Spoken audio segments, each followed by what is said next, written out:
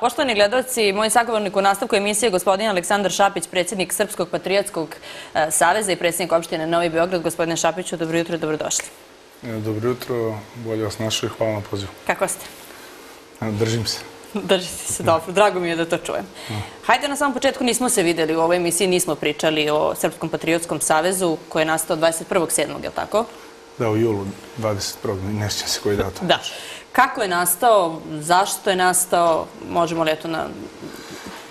Pa ja sam negde još nakon Beogradskih izbora ovaj, rekao da razmišljam o tome eventualno izlazak na jedan viši nivo politike, misleći na nacionalnu politiku i da negde sam sad došao na neku prekretnicu ili ću verovatno zauvek ostati na nivou lokalne politike ili ćemo napraviti taj iskorak. Nisam do kraja bio tada siguran, ali jednostavno ta me već nekih prethodnih godinu dana ovaj, um, vodila. Imali smo beogradske izbore i nismo mogli puno da, da se bavimo uh, pravljenjem neke uh, ozbiljne organizacije. Kada su oni prošli sa mojim najbližim saradnicima, ovaj, sam donao odluku da, da napravimo taj iskorak i da ovaj, uđemo na jedan, kao što sam rekao, viši nivo, da napravimo jednu političku organizaciju koja će izaći s nekim svojim programom, s nekom svojom politikom i pokušati da zauzme neku poziciju unutar srpske političke scene u našem društvu na jedan način koji je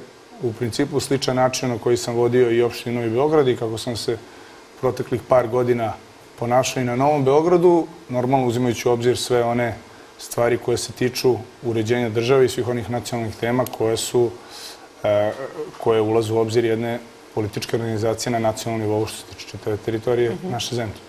Da, e, program imate, je li tako bilo da, nekih nedoumica? Ovaj, sad sam, pre u emisiji smo se malo šalili pa sam rekao da sam ovo upravo donao iz razloga što sam bio kod jedne vaše koleginice pre nekih meseci i po dana koja Iako sam je donao ovaj dokument i rekao da je, ovo su programska načela, ozbiljan mhm. program, ne možete da imate dok nemate potpuni uvid u stvarno stanje unutar države. Mi nikad nismo bili deo vlasti i jednostavno možete imate programska načela, a postoje stvari koje bi smo možda mi želeli, ali ne postoje objektivne okolnosti za njih. Zato smo ih i nazvali programska načela, a ne program, jer više puta sam imao priliku da čujem od raznih političkih organizacija, kaže, kad mi dođemo na vlast, uradit ćemo to, to, to, to, to i to.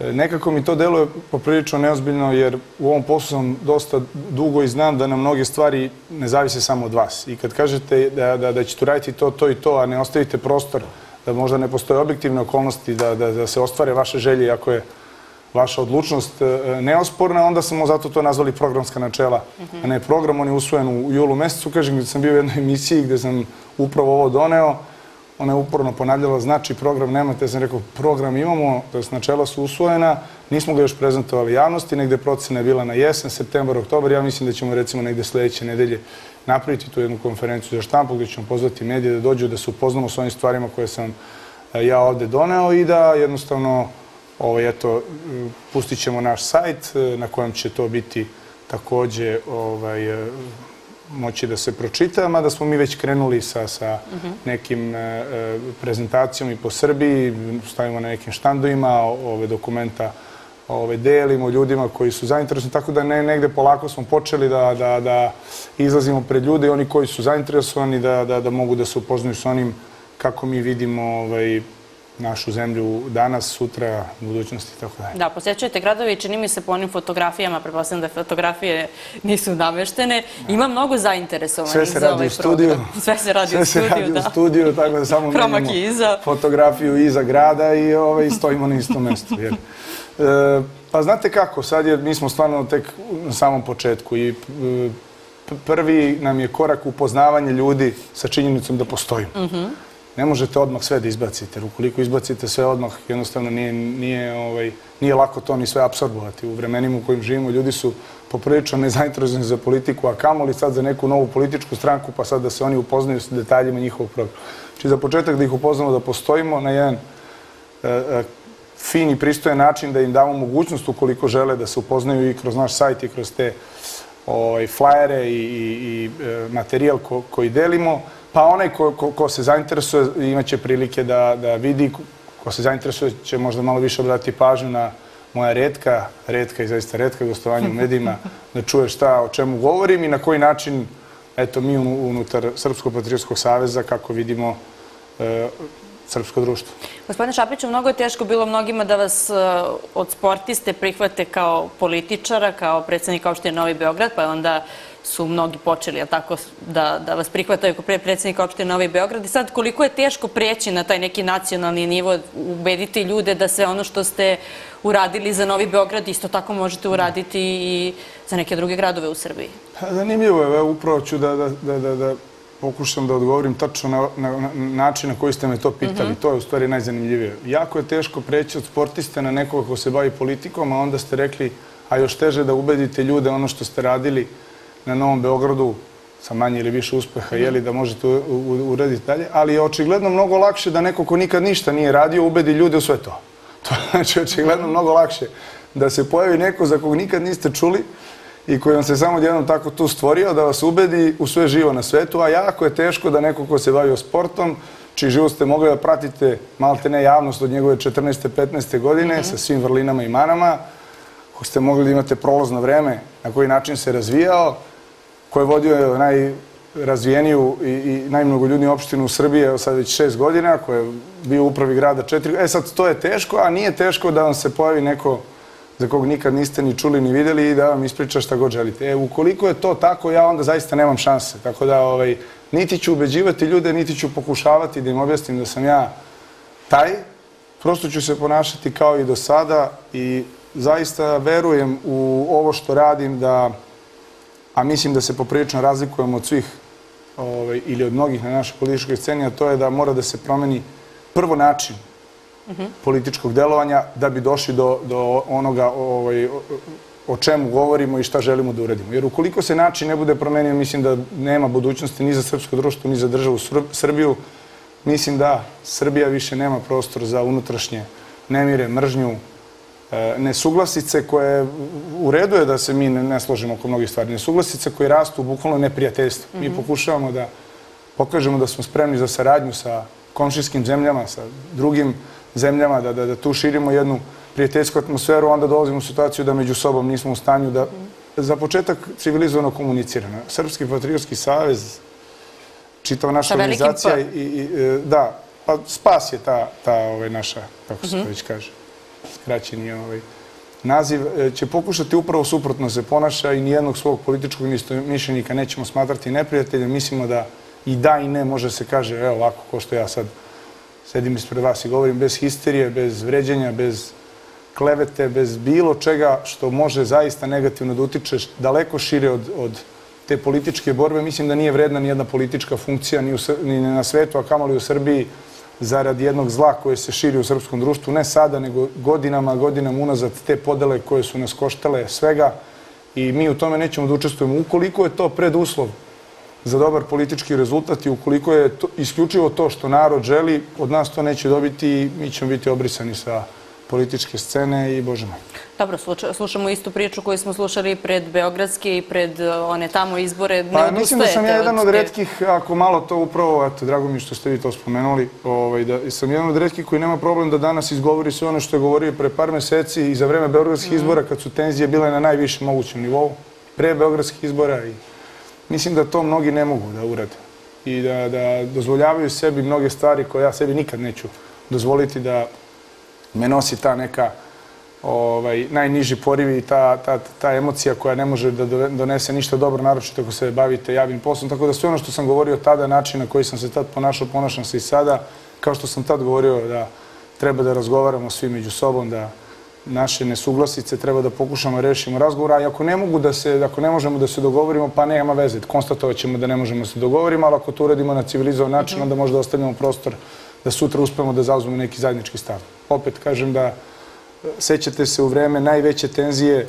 i tad sam govorio sam spreman da i razgovaram i sarađujem koliko ostajem na mesto predsjednika opštine i ne budem dobio priliku da vodim Beograd, da je opština Novi Beograd otvorena za svaku ko bude postao način, bez obzira iz koje stranke on bio, jer je to naša dužnost, obaveza prema Novo Beograđanima, mislim prema Beograđanima i to je moj stav i danas i što se tiče lokalne i što se tiče nacionalne politike.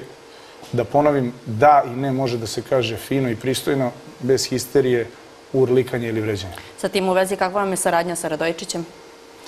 Pa evo, nažalost, do sada nismo ovaj, ovaj, napravili ovaj, kontakt. E, ja se nadam da će do njega doći. Moramo da uzmemo obzir da je on ipak čovjek e, nov ušao u sve ovo i on je izuzetno dokazan u svojoj struci kao, kao eminentan deči hirurg, mislim da je hirurg, ali mislim da će mu trebati malo vremena jer i, i, i ovo je zanat i tu ga treba razumeti, ja mu zaista želim sve najbolje i to sam uradio i na Skupštini grada i njemu i svakom drugom bi to poželao. Ja verujem da u interesu Novo Beograđana i Beograđana da mi ostvarimo elementarnu saradnju i komunikaciju. Ja verujem da će do toga u nekom budućem periodu doći. Moj, moj, moj poziv uvek otvoren i moja vrata su uvek otvorena. Sve vreme govorite o toj nekoj zdravoj komunikaciji. Je li to ta neka politička kultura za koju često ističete da nedostaje? Pa ja mislim da je čak i nema.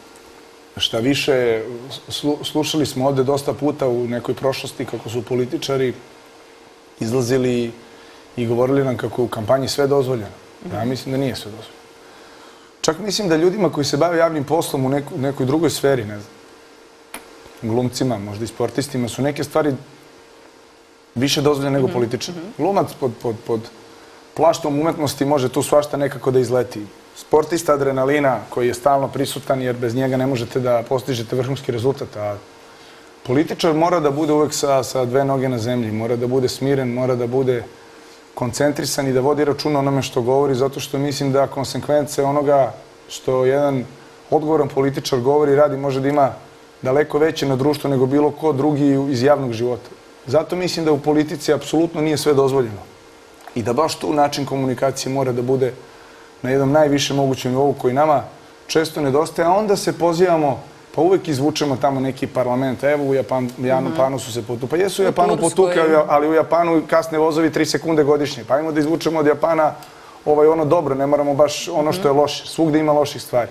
Tako da, ovaj, e, ovde su mnogi čak i govorili o ovome o čemu ja govorim, ali je redko ko uspevao tako da se ponaša. E, zašto? Nije to nekada ni lako kada vas neko vređa, čovjek ste od krvi mesa, emocija i normalno je da nekad imate potrebu da odreagujete. Dobro, nekad vi ste reagovali svoje vremena, tako? Nekad se instinktivno reaguje. Uh mhm. -huh. Pa mislim da na, od kada se zadnjih par godina politički i, i nisam, i nisam, zaista sam uspevao da se obuzdam i svaku stvar koju sam izgovarao sam se trudio par puta, već, više puta da razmislim, da, da spustim loptu i da nikad ne odgovaram istim tonom, zato što mislim da onog momenta kada Ako se ne slažete s načinom kako vas je neko napao, odgovorite mu na isti način, onda automatski ste vi uvučeni ovaj, u, u to isto polje koje ne može da izađe na dobro. Nije to, kažem, nekada lako, ali ukoliko verujete u to i ukoliko verujete u to ispravan način, mora da počnete od sebe. I, I tako se ponašam već više godina i u lokalnoj politici tako ćemo se ponašati i, i na nacionalnom nivou i svako ko bude deo naše organizacije ovaj, bit će dužan da se tako ponaša zato što zaista verujem da je to jedini u ovom momentu spas, spas mm -hmm.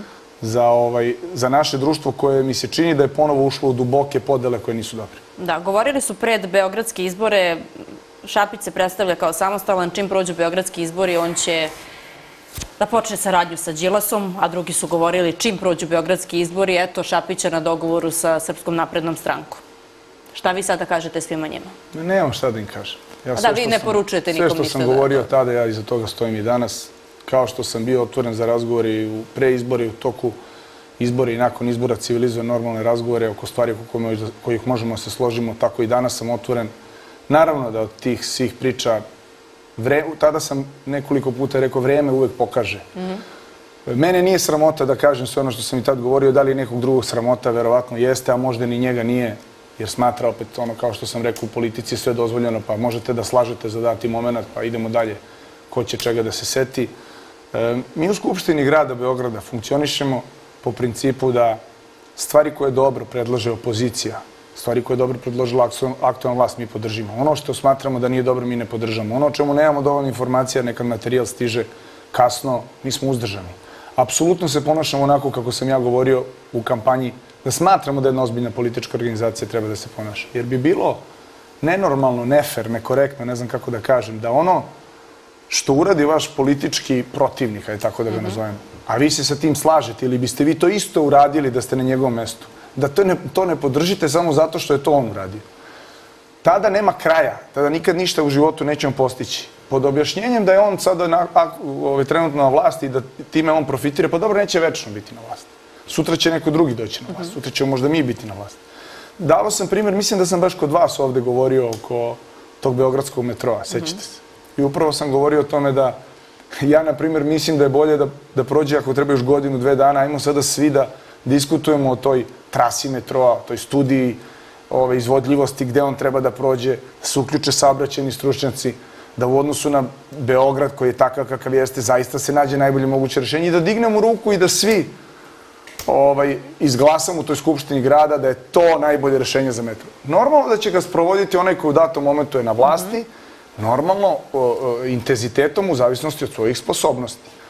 Ukoliko svaka vlast bude menjala trasu metroa, on nikad neće biti ni započet. Zašto? Zato što da biste promenili trasu metroa, za to vam samo treba par godina da se menja projekat i tako dalje. A upravo to nam se dešava. Ista su situacija i sa Beogradom. Predlagao sam i danas predlažem. Hajmo da usvojimo, hajmo da razgovaramo o tome godinu dana, nije važno. Da usvojimo neki strateški razvoj Beograda. Su dogovorimo gde je, ne znam, privredna zona i to je privredna zona, ali ne može sutra to da se promeni zato što se promenio vlast i više nije privredna zona. Da usvojimo način na koji Beograd treba da izgleda, gde ćemo gde će da se zadrži poljoprivredno zemljište, šta ćemo da radimo sa nekim stvarima, kako da se reši pitanje, ne znam, javnog prevoza koji je rak rana gradske uprave, ne ove vlasti, nego i prošle, i prethodne, ozbiljan problem. E, kada bismo to usvojili, onda bi daleko lakše bilo svakome ko dolazi na vlast da to sprovede ako ima kapaciteta da sprovede. Ako nema kapaciteta, pa još više će da se pokaže njegova nesposobnost baš zbog toga. Ja ne razumem kako to ljudi ne mogu da shvate. E sada, normalno da možda u datom momentu to vam ne donosi političke poene, jer vi dignete ruku za nešto što je neko na aktualnoj vlasti, ili aktualna vlast prihvati predlog opozicije. Mm -hmm. Ako malo dugoročnije gledate, ako gledate neki opšti interes, pre svega tog svog grada u kojem svi živimo, onda ćemo da shvatimo da je to jedini pravi način. E mi pokušamo tako da se ponašamo. Za sad smo u manjini, ali nekako verujem da će neke stvari da prihvate i druge političke organizacije, da je to jedini pravi put. Moramo da shvatimo da ljudi na nas, u tome smo mi previše, onda se to koje, koje stranci mm -hmm. pripada, deli, nemaju ljudi vremena tim da se bave. Mislim, prosto oni žele da se uradi nešto dobro, da se uradi nešto dobro u njihovom opštini, gradu, na nivou države, da, da država Rezultate ide napred. traže, da. Traže, pa traže bolji, prosto bolji život sa svih aspekata. I jednostavno mi smo samo instrumenti. Nemamo mi tu prostora da teramo mak na konac, da li će neko od nas više da profitira, neće, ako si kvalitetan. A ne može to da se, da, da se ne vidi ukoliko težiš nekom prosperitetu društva. E sad, problem je ovde što su tu nekad zamene teze, onda mi zaboravimo zašto se bavimo ovim poslom. Bavimo se ovim poslom da bi nešto iza nas ostavili, a ne da bi unutar naše organizacije, ne znam, negde uzeli neki procent više ili imali funkciju više. Funkcija treba da služi kao instrument da bi se nešto uradilo.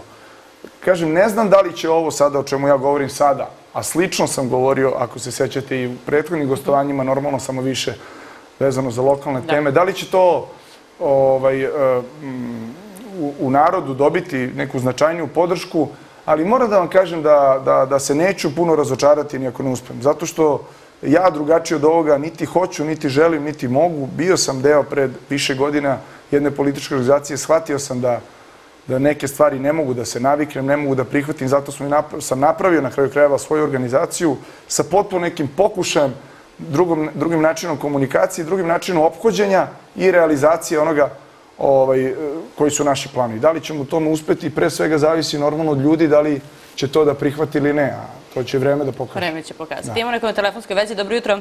Halo, dobar dan. Dobar dan, poštovanje. Ovde je Rada Saška sa Balog Brda, pozdrav Tamarice za tebe, naravno iz gospodina Šapića. Izvolite. Pratim uh, emisiju, pa ovako, ja, gospodine Šapiću, bili smo u istoj stranci. Ja sam bila u demokratskoj stranci od samog osnivanja običan aktivista kad je trebalo, nije, to nije priča, ali, ali znači nikad ništa nisam ni tražila ni dobila. Dobro. Bili smo zajedno, e, vaša priča mi više liči na demagogiju nego na realnost.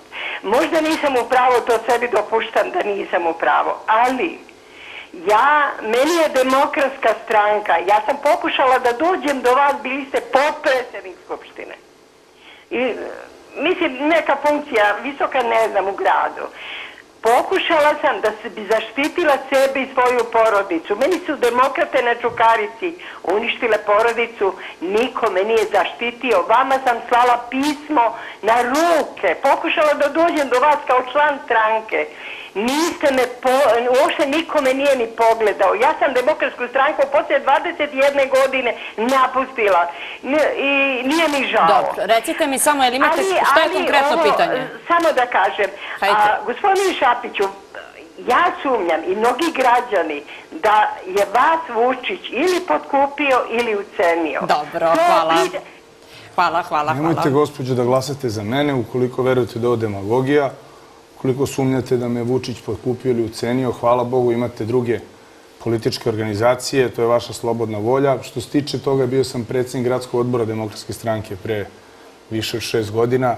Nemojte se ljutite, ovaj, ne znam za to vaše pismo, ne mogu se setim, a inače sam e, imao princip da na te pojedinačne probleme ne odgovaram na taj način, zato što sam upravo u Demokratskoj stranci E, kada sam došao tamo bio i tada su mi rekli kako ovaj, ima velika potreba članova da razgovara sa... Lično, mhm. Tako je, i da predloži nešto konstruktivno, konkretno, nešto da se uradi i tako dalje. Ja sam rekao, naravno, kako ne mogu da dođu ni do koga, ja sam rekao, otvorit ćemo svake srede, e, ću primati sve članove demokratske stranke da dođu, da kažu šta je ono što može da se uradi. Ja sam to radio neka dva, tri meseca, onda sam shvatio da 99% tih ljudi dolaze sa apsolutno ličnim zahtjevima, problemima. Evo, gospođa sad čak nije ni rekla šta je.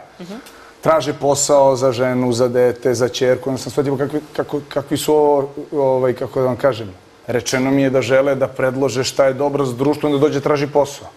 Onda dođe, priča mi kako se posvađa tamo s nekim u odboru. Onda priča kako mu je komšija ne znam šta uradio. Sam shvatio, to apsolutno nema smisla. Tako da evo nismo čuli ni od gospođe koju vrstu problema, št, kako su je demokrate uništili život i ko je uništio život. Mislim, mogla i sada kaže ko je uništio život. Onaj ko je uništio život trebala je da potraži podršku nadležnim organima. Ja ni opštini Novi Beograd ne pijem kafu sa građanima zato što mislim da je to demagogija.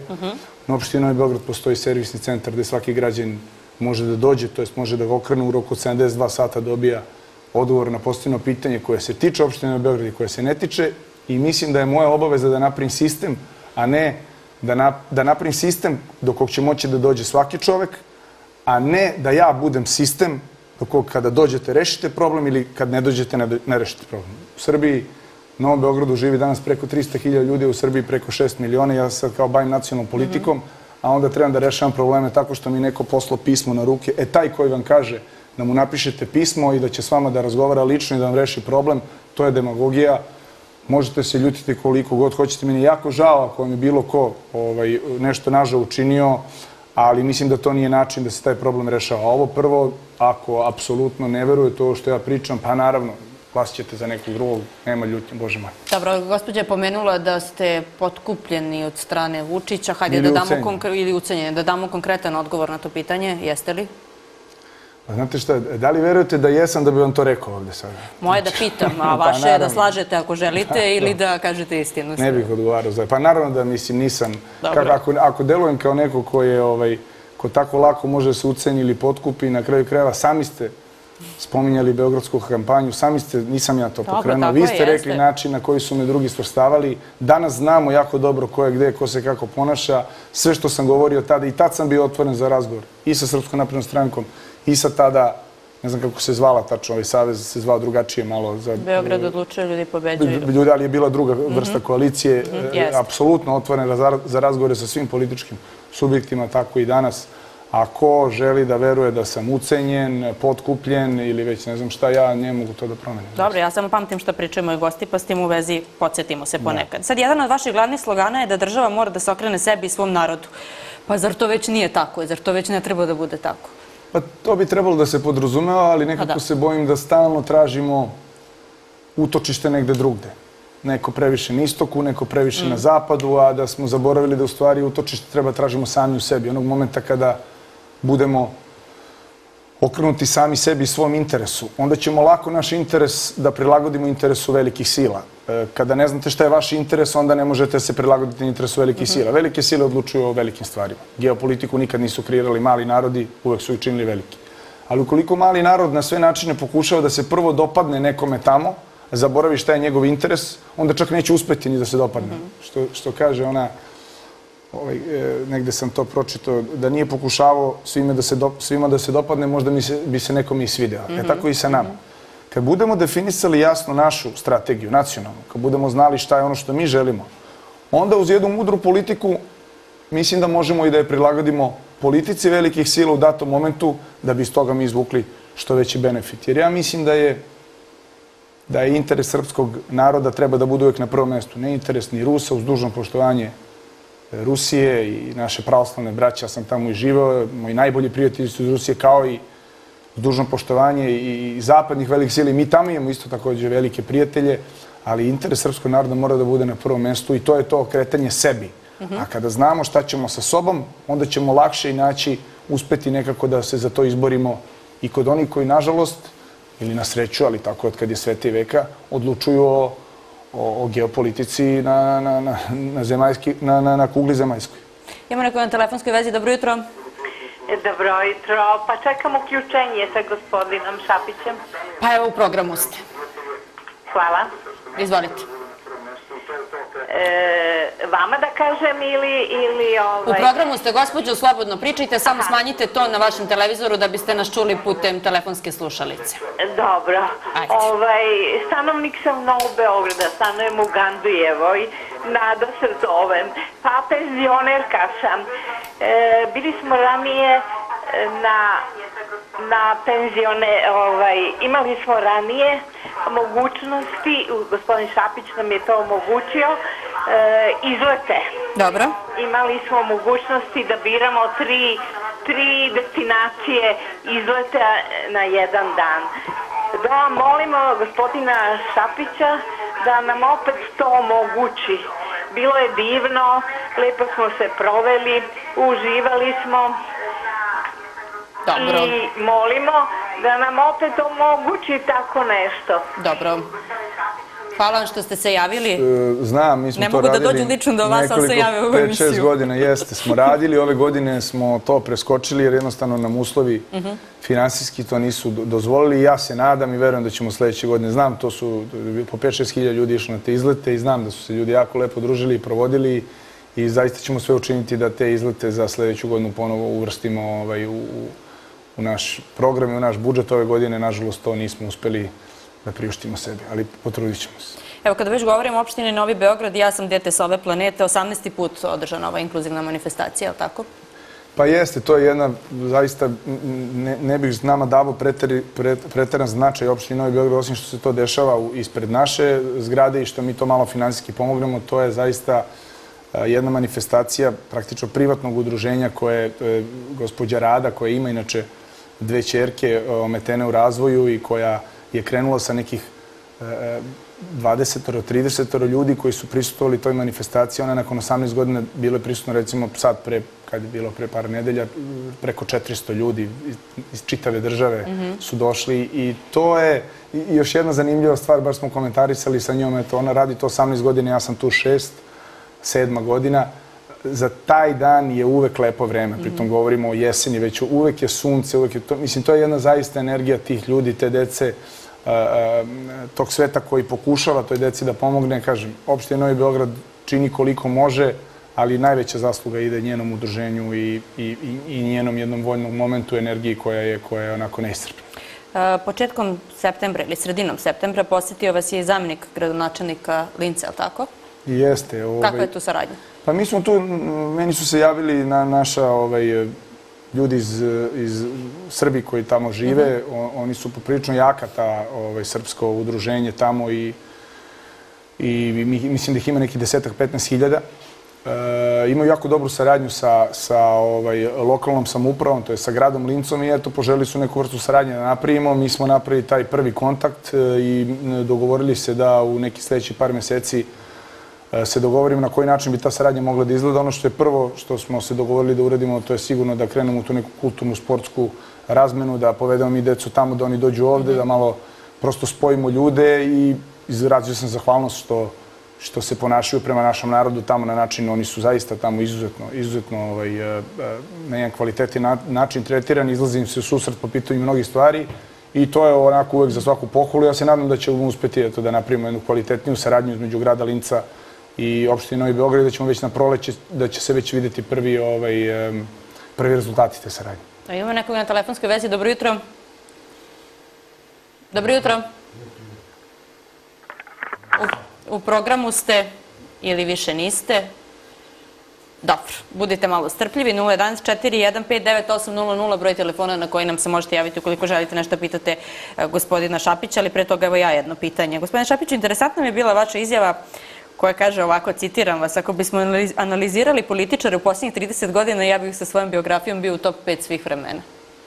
Pa da, ima tu objašnjenje, pre toga Da, da. sam dao. Pa zato što je, ovaj, malo pre sam, mislim da smo tak, čak tako i počeli razgovor, pošto je ovde najveći problem kada znaju čime ste se bavili, a onda kažu pa kako je sad moguće da iz toga uđeš u politiku? A politika je u stvari jedna i poprilično abstraktna oblast koju ne možete da definišete šta je to koje to zanimanje vas preporučuje da se bavite politikom, pošto najuspešniji političari na svetu su bili različitih zanimanja i različitih karijera ili ne karijera pre toga, profesionalno. I onda ovaj, smo došli do toga da u stvari u Srbiji je najbolja preporuka da se bavite politikom ako ništa pre toga niste radili i niste imali, ovaj, zato što onda ne mogu da kažu a kako iz ovoga prelaziš u ovo, pošto ni iz čega ulaziš u politiku i to je najbolje. Rekao sam samo To da ukoliko bi krenuli da se ba- za- za- bavimo time i moja sportska karijera i ta politička, podsjećam vas, ja sam ovom poslu već skoro 10 godina i mislim da sam krenuo jednim prirodnim putem. Znači, niti me neko spustio iz helikoptera na visoku funkciju, E, u demokratsku stranci sam ušao dugo godina unazad, ali operativno sam krenuo i počeo, postao sam pomoćnik gradonačelnika, što je jedno apsolutno tehničko lice. Znači, niti imate mogućnost da radite bilo šta više od onoga što vam gradonačelnik da.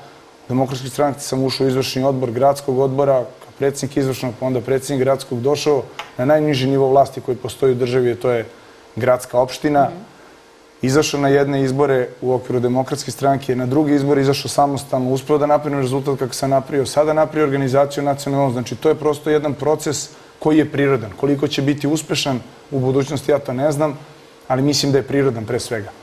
Ako bi se ba- bavili time šta su današnji ili bivši ministri, šta ih je preporučilo da postanu ministri, mislim da su svi u, ozbiljnom problemu i ovaj, da je bolje za mnoge da tu temu ne otvaram. Dobro, sada kada e, govorimo e, o saradnji sa drugim strankama, niste u koaliciji ni sa jednom, je tako, e, ni sa jednom strankom i mnogi, mnogi na to ne gledaju na vas kao na samostalnog političara, nego kažu Aleksandar Šapić je samoživ, on želi sve za sebe i zato ne želi ni sa kim da sarađuje. Jeste čuli to? Pa, nisam. Pa evo ja vam kažem. Dobro, dobro. Pa dobro, to je pravo ljudi. Uvek po- postoji, znate, za svako... Prvo, Bog je bio velikodušan prema svima nama, pa niko za sebe ne smatra da ovaj, je lud, glup i tako dalje. Svako za sebe misli ali da je on taj, bez obzira čime se bavi. Tako da to je ovaj, u redu. E, ukoliko je moj razlog što sam samostalan, jer sam samoživ i želim sve za sebe, a razlog ostalih koji se udružuju zato što su oni ovaj, puni empatije i, i, i razumevanja za druge, u stvari oni ne žele ništa za sebe nego samo za druge, ja ću to prihvatiti i zaista to neću objašnjavati. Može to i malo drugačije se okrene, ali to ne želim da radim, zato što Dobro. prvo ne želim da ubeđujem ljude da sam ja u pravu za sve što govorim, jer, jer to prosto nije tačno.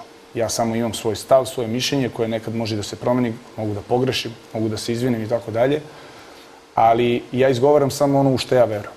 Na ljudima je da procene ko je u pravu i u odnosu na ono što vide, u zavisnosti od svojih interesa, od svojih interesovanja, od svog viđenja društva ili svega onoga, tome treba da daju glas i za te politike da stanu, što, a i takođe nije strašno i da od izbora do izbora promenite onoga kome ste dali poverenje. Na kraju krajeva zato valjda i postoji politička scena. Svako se odlučuje za svoj način delovanja. Ja zaista se neću baviti drugima i neću ih kvalifikovati na bilo koji način. To što možda drugi sebi dozvoljavaju to da rade, ja mislim da to rade više onako ispod žita, pa tako bočno, pa tako oni to negde puste, pa to sad kao, ajde sad ti njega pitaj, evo ja sam tu, meni to, ovaj, meni to, na primjer, niko nikad nije rekao.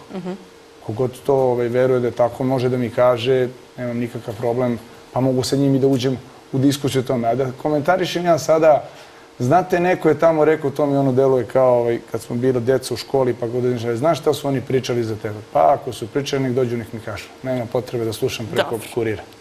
E, dobro jutro, poštovanje. Dobar dan, želim vam prijatan dan. Hvala. Htjela sam da pitam gospodina Šapića, ja se potpuno slažem samo s jednim, mislim ono, stvarno, ko počne nešto da radi, ovaj, ko dođe sljedeći poslije njega, ja produžim da radim. Međutim, ja hoću gospodina Šapića da pitam. On da kažemo, kaže, ne prima, ovaj, evo, nas građane. Međutim, da li on svesan da kažemo, stari ljudi ne znaju da rade sa kompjuterom, da uđe u sajt, da vidi. Kad odete tamo, izuzetno su ovaj, i bezobrazni i neljubazni. Mislim, da li je prošetao da vidi šta mu rade zaposleni dole.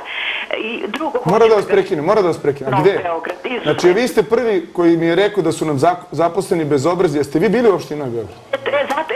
Tela da vam Jeste bili, pitam? Rekala sam, i ja još je kažem, imam bolesnu osobu, ona kaže samo trenutak. Znači, bitno A gde je ste čekali? Polako, da polako, ono, polako, Malo polako. iz- turpijaju.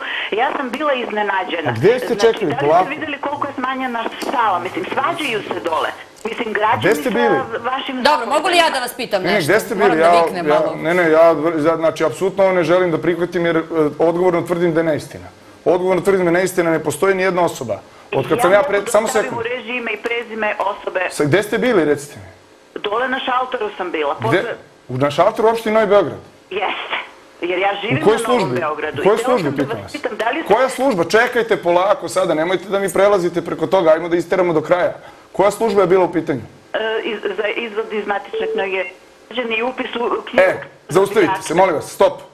Da- sam izbrisala Stop, stop, stop, stop, stop, sekund, Gospođo, sekund. evo ovako, završavamo sekund. razgovor sa vama, Ne, ne, ne, ne, ne, ne, ne, nek ostane na vezi, gospođo, molim vas. Pa dobro, vidite Znači, da ne izvod iz možemo matične pričamo. knjige rođenih je služba grada Beograda, ne opštine Novi Beograd. Ne na Novi Beograd. Ma sačekajte, pustite me završim. Pa zato ja kažem- Nalazi se u opštini Novi Beograd, fizički. Ali jasno vam piše da je to pod upravom grada Beograda. Mi, to nisu naši zaposleni, to su zaposleni ljudi koji su u gradskoj upravi. Služba matičara nije pod opštinom Novi Beograd, nego pod gradom Beogradom.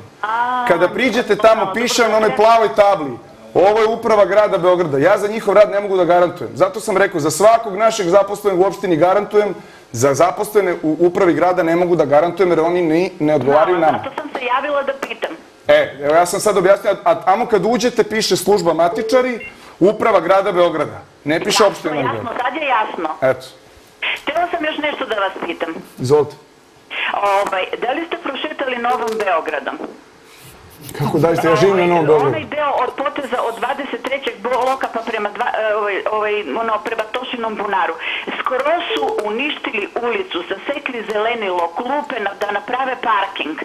Ако ние до вас, ако и веројатно до града, дај да но се скупимо да направимо петицију, јел ми мислимо да правимо нови Белград бетонску джунглу или да, да го озеленјаваме. Код Вера јесте видели како се шири, тој он мора да добие овој дозволу негде да da da kažemo, tu je bilo gradilište, sve se to srušilo. Stvarno mi je žao, mislim ja, znači da li mi verujete, ja volim da je naš grad zeleni dele, Beograd, Novi Beograd je bio najuređeniji. Sada pogledajte samo da prošetate taj deo od deo 23. bloka pa Dobro. idete prema Tošinom bunaru, sve se napravio parking, sve se uništilo zelilo, kako išao bager, steko i staro drveće i klupe i sve. To sam htjela da vas pitam. Da li vi uopšte, ili da kažemo da je Zoran Đinđić, da vidite šta, mislim šta se sve, se sve prodavnice otvaraju i da ljudima gore skara, da kažemo svako voli miris skare, ali da vam u stanu ulazine između dva prozora. Dobro, dobro, sada Polako, već. uvatite vazduh, polako, gospođo. Svaka Polako. vam čast, baš brzo pričate. Svaka vam čast. Ovo ste izveli bez disanja. Ovaj, razumem, gospođo, razumem i normalno da je to uvek, planove detaljne regulacije u, u svoje skupština grada, parking ne primimo mi, pravi sekretarije za saobraćaj i, i parking servis. Nažalost, u proteklom periodu se nisu baš puno savjetovali sa nama, iako i da su i konsultovali, iako da su se konsultovali, odluka je konačna njihova. Znate, to je sad uvek diskutabilno. Ja, na primjer, mislim da je parking kod areni, ako su se takođe mnogi građani ovaj, žalili, mislim da je dobro urađen, e, da je dobro što je tu napravljen parking i nije posečeno puno drveća, jeste bila neka zelena površina koja se praktično nije upotrebljavala. E sada, tu sad treba naći meru. Razumem, ja bih volio da je grad opet i zelen i da ima puno zelenih površina, jer Beograd jeste poznat po tome. Opet, sa druge strane, Novi Beograd se razvija kako se razvija i negde imate i problem tih e, parkinga, pro, pro, problem ovaj, komunalnih stvari, komunalnih problema koje je jedna, jedna ozbiljna infrastruktura kako je Nova Beogradska iziskuje. Tako da, ovaj, ako građani smatraju i da treba da se organizuju, treba da, da mogu da i da nas kontaktiraju kao opštinu u smislu udruženja, pa ćemo mi e, zauzeti naš stav u zavisnosti od interesa građana, ali mi ne možemo o tome da odlučujemo i možemo da zauzmemo stav. Ne znam sad tačno na šta je mislila, ali mislim da za neka, neke lokacije e, zaista su neophodna parking mesta, jer parking mesta nema. Dobro, šta su čije nadležnosti? Tu se pravi malo konfuzija. Ne, zato što me, ovaj, tako je i mi smo upravo kad uđete u opštinu Novi Beograd, baš zbog ovoga. Ja razumem ljude, ne mogu oni sad da gledaju, ali stvarno smo, na primjer, matična služba, oni su nekada bili pod opštinom, nisu već par godina. Njima upravlja grad Beograd. Dobro. Fizički se nalaze samo kod nas. Ne možemo da utičemo na njihov rad. Normalno, to je odeljenje Novi Beograd, matična služba grada Beograda. Ja ne znam kako se oni ophode. E, Poreska uprava, koja se takođe nalazi u našoj zgradi, ja ne znam kako se oni op- ophode prema ljudima, niti mogu na njihov rad da utiče. Ono za što apsolutno garantujem, zato sam apsolutno presekao gospođu i rekao da odgovorno tvrdim da to nije tačno. Drago mi je što smo došli od toga da to nisu naši zaposleni, jer ako nešto sam dao sve od sebe da promenim, to je taj odnos prema građanima, jedan pristojan način komunikacije i pokušaj da mu se izađe u susret koliko god je moguće i mislim da to zaposleni opštine u Beograd, tamo gde su naši zaposleni, rade na najbolji mogući način. Dobro, ja moram da pohvalim, bila sam s jednim prijateljem da uzme izvode iz matične knjige rođenih, bili su ljubazni. A eto, on- naleteli su onda na neraspoloženu gospu, ali kažem, bio, ne da. mogu da utičem na njihov rad, ne kažem ni da jesu, ni da nisu, ne, zaista ne kažem, ali ne možemo na njihov rad da utičemo. Da, gospodine Šapić, sad mnogo je pitanja, malo je vremena. Hajde da se osvrnemo na ugovor e, koji je potpisan o prodaji PKB-a. Vaše mišljenje? Da li je to trebalo tako, da li ne? Pa ne znam, ne znam, zato što je to, taj PKB jedna onako mi, mi, misterija poprilično. Iskreno budem, ja ne znam kako je tamo stanje bilo. E, ja sam bio tada u upravi grada kao pomoćnik koji se time nije bavio. Kada je PKB prešao iz, to je grad uzeo rukovođenje nad njim. Da li je to baš tako da je grad za godinu dana uspeo da od gubitnika napravi profit, profitabilno preduzeće koje je pravilo 20, 30, 50 miliona, ja to ne znam. Nisam imao uvid u to. Kao što ne znam ni da li je tačno sada da je ono uletelo ponovo u, veliki, u veliki gubitak i, i da je bio neophodno da se proda. Ja mislim da e, preduzeća, sad ajde da izađem iz PKB-a, jer pričati o, o, o specifičnostima PKB-a nemam, nemam informacija. Nisam, drugo je da sam ja tada kad sam bio u gradu imao dostupnost informacijama. Nisam, bio sam pomoćnik, ali se nisam bavio PKB-om, a nemam ih ni sada.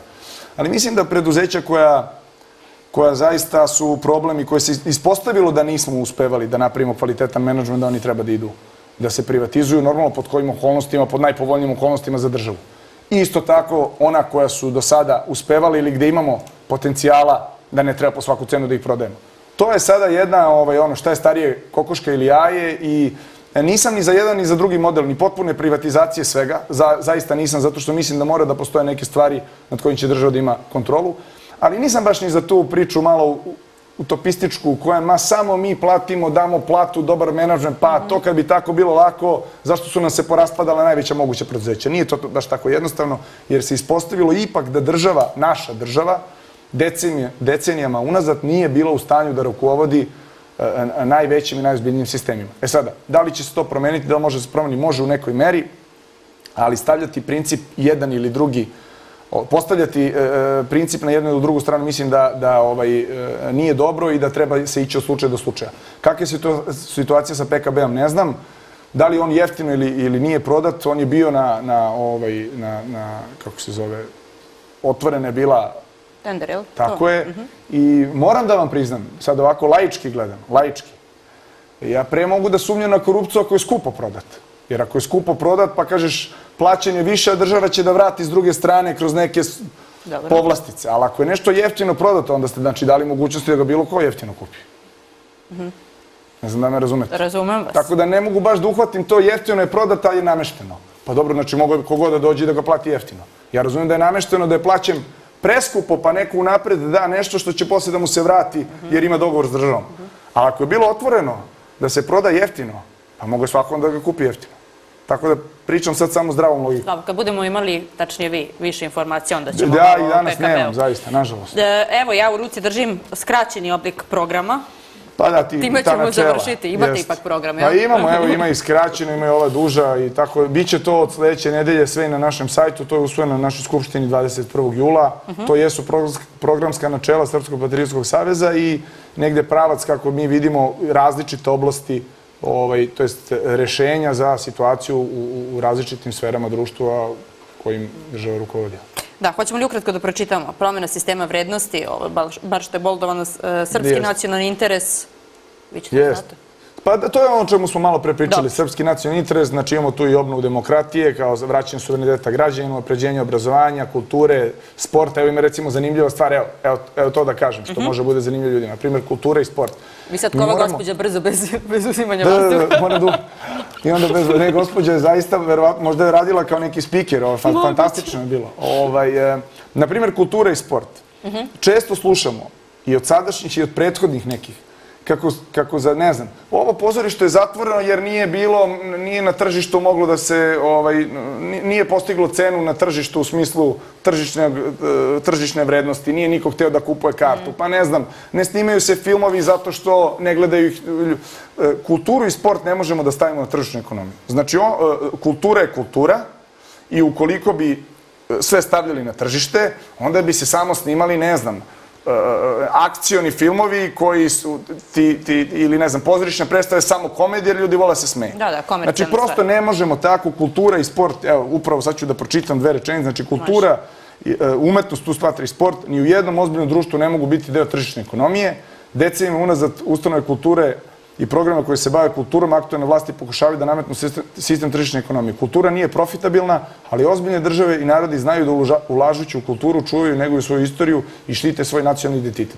Znači, kultura i sport moraju da budu van tržišne ekonomije, u njih ulažemo jer time ulažemo u svoju sadašnjost i u svoju budućnost. Evo kada smo već pomenuli sport, kako ste kao zvezdaš podneli ovo u Parizu? Da, malo da onako od Nije mi baš politike bilo napravimo sve jedno i odstupnicu. nisam očekivao ovaj, neki sad previše povoljan rezultat, ali baš nisam ni očekivao 6-1. Ne samo 6-1, bilo mi je žao što je ovaj, igra bila tako.